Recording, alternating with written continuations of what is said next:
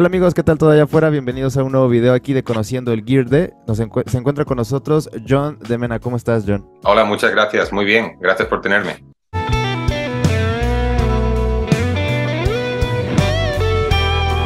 Para grabar un disco de rock en la actualidad, eh, ¿consideras que es mejor hacerlo de manera digital o analógica? Depende, yo siempre prefiero el analógico porque para mí siempre me ha gustado más cómo ha sonado y siempre, pero también es que hoy en día ya sabes, es los budgets, los presupuestos, los músicos que tengas, el analógico es más caro, la cinta, eh, tienes que tener músicos muy buenos en los que las tomas sean muy, muy, muy buenas, no se puede editar tanto, no se puede estar haciendo tantas cosas, o sea que yo no veo ni que sea mejor ni peor, yo creo que según la función y según la banda muchas veces es lo que, lo que funciona mejor. El objetivo es el producto final. Como suena al final, eh, los pasos que hayan llegado hasta ahí dan igual un poco para mí.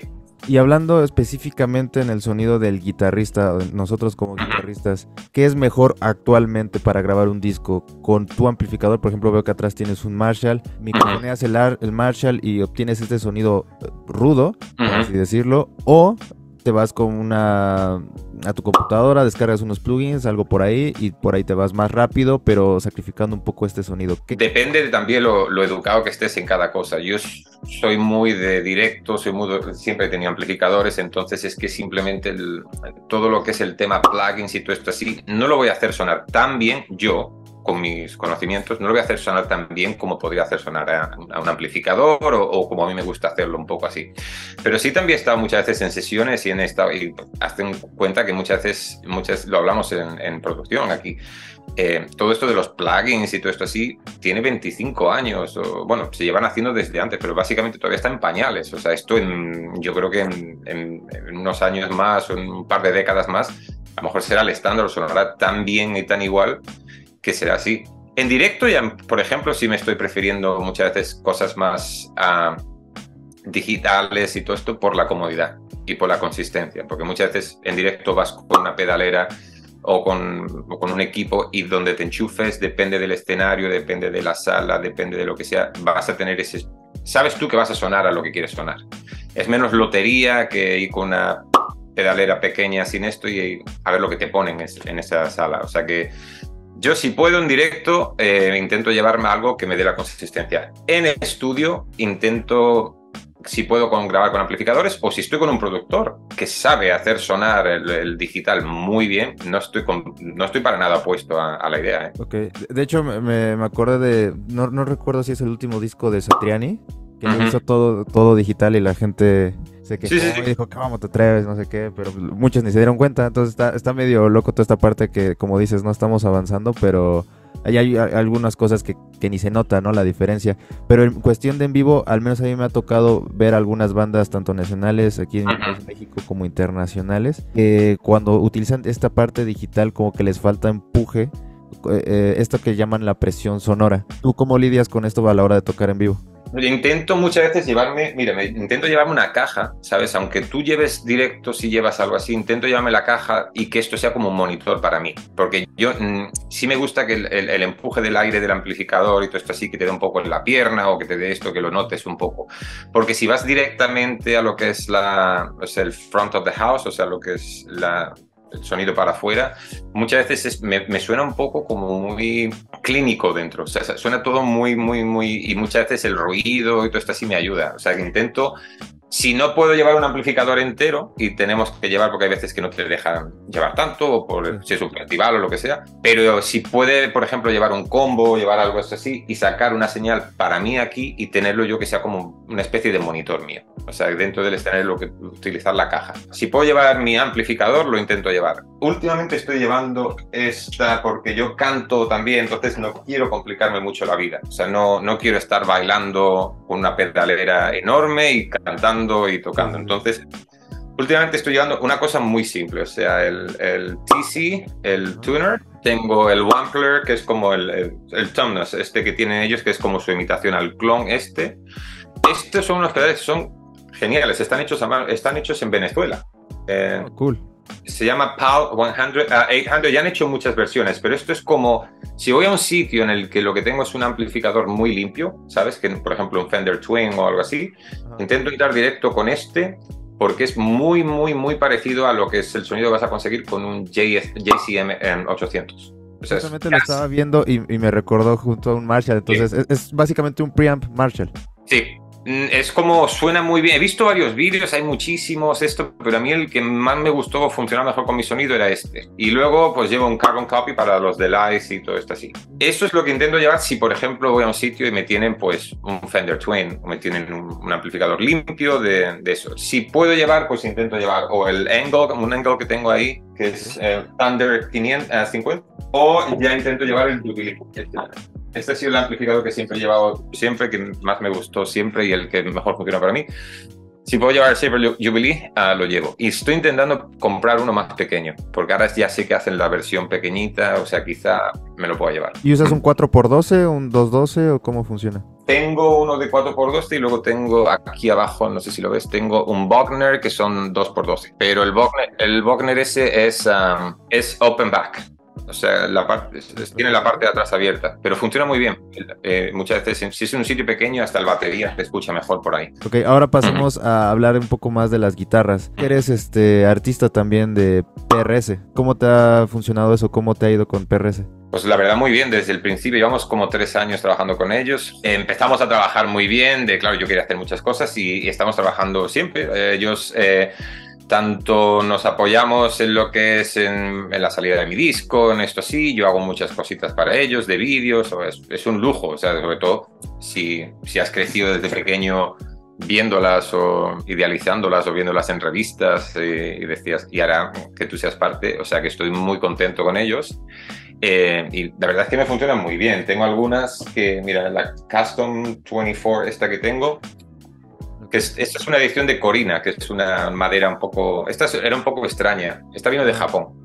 Y es, que es, vamos, eh, lo que te digo, yo que canto también en directo y esto, lo que menos quiero es una guitarra que me esté dando problemas o que tenga que estar preocupado. O sea, lo que quiero es seguridad total y esto funciona muy bien, no se desafinan para nada, es súper versátil, eh, se ve bien, también físicamente es como que hay guitarras que te funcionan y que no. Yo soy muy alto, entonces eh, hay guitarras que funcionan más. Y esta es básicamente la que estoy utilizando casi todo el tiempo ahora. Ok, eh, está bastante bonita. ¿Tú qué, sueles utilizar últimamente? ¿O, tienes PRS o tienes de...? Yo utilizo uh, Ibanez, de hecho es como Telecaster. Esa la compré porque es la única Telecaster, al menos aquí en México, que encontré. En Boker, pero en el puente. Y en Fender en ese entonces, hablo de hace como unos nueve años, tenía la humbucker arriba. Tienen, sí, o tienen la que es el puente como esta. Mira, yo tengo aquí una lo que dices tú. Tiene el puente Telecaster, pero aquí tiene la tiene una Seymour Duncan Mini Humbucker. Sí. Exacto. E-, esa es este, las Parallel, ¿no?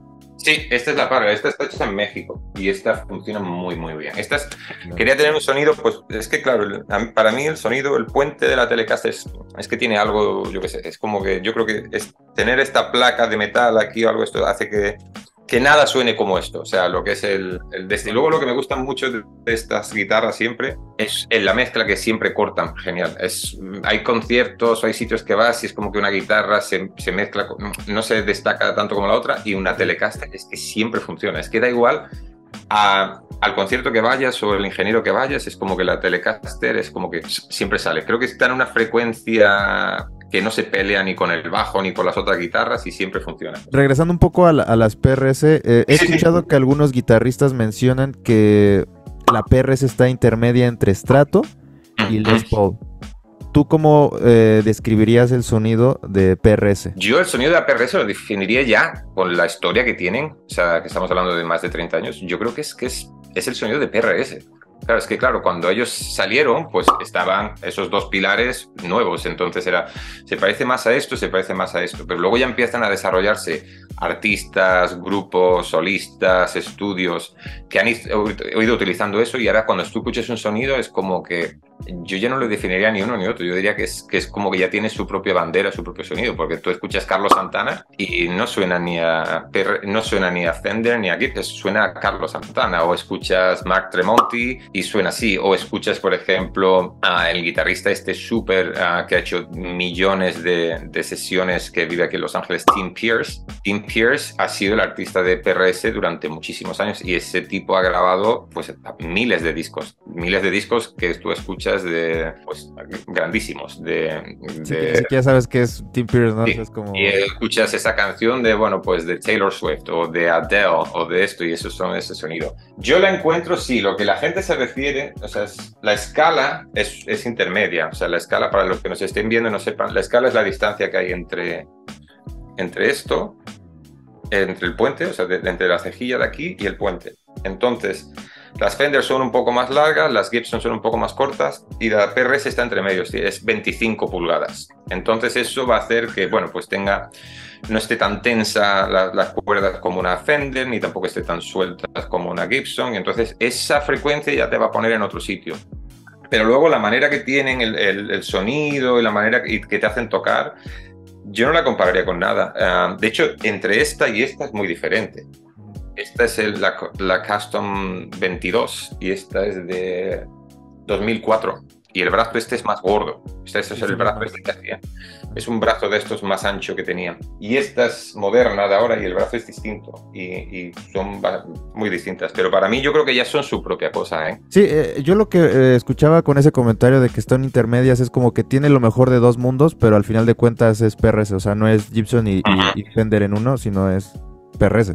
Para un músico actual, ¿Qué tanto le beneficia o qué tanto aporta el tener endorsements con, eh, con distintas marcas? Por ejemplo, en este caso, sé que estás con PRS, pero también estás con Ernie Bolt. Pues te ayuda mucho lo que es, uh, lo que es la gestión diaria de conciertos, de cositas que hacer, de prensa, de hacer lo otro. Luego es una, es una relación mutua, tampoco, no sé, a no ser si es un endormen grande, si es una compañía muy grande, pues tampoco es como que no eres, eh, ellos van a estar apoyándote, pero es mutuo, es como tú cuando haces algo, ellos, tú se lo haces llegar a ellos y ellos te lo van a amplificar en, lo que hasta donde ellos lleguen y luego tú tienes que utilizar pues, su producto y lo haces así.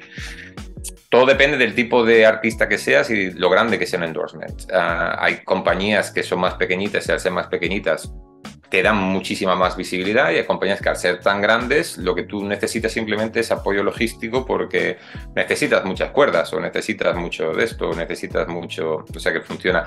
Yo creo que es una idea muy buena y es una cosa muy, muy importante siempre pues tener mientras más compañeros de viaje en la industria, mejor. Si llamas a una puerta, decir, oye, que estamos interesados en hacer esto, o quieres colaborar con alguien y, decir, oye, que soy artista, entonces es como, bueno, pues sí, si una marca así, no sé qué, está interesada. Y con todo esto de las redes sociales, es, yo creo que es lo más, es la relación más lógica que existe. Antes de las redes sociales, pues bueno, pues ah, era para directos, o artistas necesitaban, pues salían de gira muchas cosas, pero hoy en día es como que es una relación bonita y mutua que puedes hacer y puede beneficiarse cada uno. Justamente hay muchos que luego piensan que es como te regalan cosas y ya, y es como uno recibe todo y o hasta le, recibe un ingreso económico constante o algo así, y es, es más bien como lo mencionas, ¿no? Una colaboración mutua en donde si tú estás ahí es porque te gusta, o sea, porque lo disfrutas y los admiras.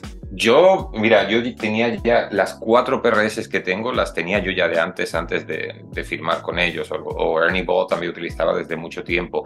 Fender tengo un montón y llevo utilizando con ellos muchísimo tiempo. O sea que yo no lo necesito, sobre todo al ser cantante y solista. O sea, si fueras un músico guitarrista 100%, que lo único que estás es enfocado a eso, pero yo que soy cantante, todo esto así, no necesito tampoco tanto de esta parte. O sea, que yo estoy con quien quiero. O sea, no estoy con que vayas buscando.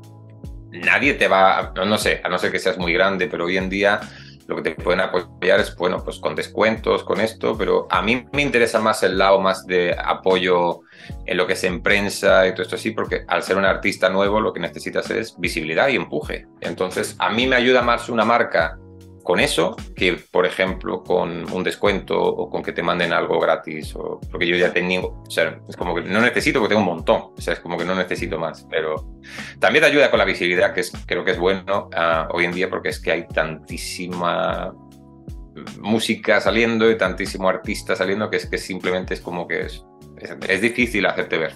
Eh, cuéntanos también un poco más sobre tu música, sobre este último álbum. Sí, pues a ver, la voz y las guitarras eh, soy yo, o sea, yo soy el, compositor principal de, o sea, es un artista solista, eh, la hice yo, la voz y la guitarra, y luego lo que era la batería la grabamos aquí en Los Ángeles con Glenn Sobo, que es el batería actual de Alice Cooper, el, bajo lo grabamos con Pete Griffin, que es un multi... Um, bajista ha tocado con todo el mundo, desde Zappa Play Zappa hasta Steve Vai, hasta el Generation X.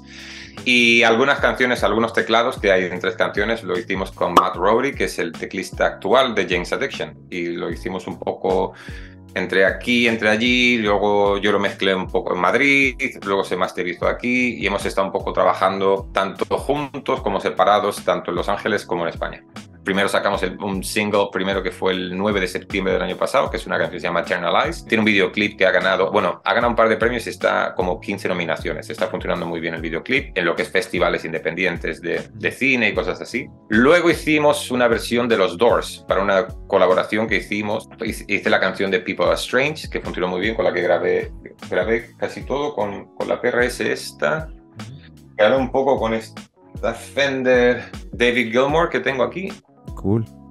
no es la custom shop, esta es, es una normal, es, eh, creo que esta la llamaba la Road, um, es, está hecha en México y lo único que hice fue ponerle cambiar las pastillas. Luego grabé también casi todo, o sea, el bajo de esa canción la que mejor funcionó con este jazz, eh, con este P-Bass que tengo aquí. Y luego ya pues el disco entero salió el 3 de, de, marzo y básicamente llevamos un mes, está funcionando muy bien y ahora la idea pues es empezar a tocar. Ya tenemos un concierto cerrado aquí en Los Ángeles el, el 6 de junio. Creo que todavía no lo he anunciado, pero creo que está cerrado ya. Solo queda eso. Y para terminar, algo que me gusta preguntarle a, las personas o guitarristas, sobre todo los que vienen de otros lados, es eh, guitarristas y músicos mexicanos. Entonces, sin mencionar a Carlos Santana, porque ya lo mencionamos ahorita en el video, ¿Conoces algún otro guitarrista mexicano que te guste? Uh, hay una chica que es, que es artista de PRS, Jimena, se llama Jimena. No la conozco en persona, pero es una artista de, de, México que estaba con PRS también, que estaba reciente. Hay unas chicas que creo que van a, se van a comer el mundo. Eh, se llaman The Warning. Imagino que las conocerás, pero creo que son también de PRS, brujería, todas las, de, siempre. Uh, Dino Cazares, aunque Dino Cazares no es de nacido. sí, no es nacido ahí, pero yo sé que él siempre está un poco representando de esto. Ballín, es Sergio Ballín, es Maná, mucha gente, o sea, siempre te van a sonar muchísimo. Y, ya llegan más nombres, exacto. Perfecto. Pues eh, muchas gracias, eh, John. Eh, ¿Algo más que quieras agregar para terminar la, la plática? Eh, los que estén interesados puedes escuchar mi música, puedes seguirme en las redes, puedes estar atento. Los videoclips son muy diversos, creo que es para todo el mundo, le puede gustar mucho. Es John de Mena, o sea, lo puedes encontrar donde quieras, en cualquier plataforma, en cualquier sitio que consumas música. Y un placer, muchas gracias por tenerme y espero nos vemos pronto. Si vienes por aquí, si vienes al NAM o algo esto así, eh, no sabes lo mucho que me gustaría irme al NAM, pero de momento no, no, no creo poder. Pero estaría de lujo ir a darme una vuelta por allá. A la próxima me comentas y, y, lo hacemos ocurrir. Muchas gracias, creo que es el sueño de muchos músicos ir al NAM. Pero bueno, muchas gracias entonces eh, por, por esta plática y pues nada, nos estamos viendo la próxima en el siguiente video. Muchas gracias por estar aquí. Un saludo, hasta luego.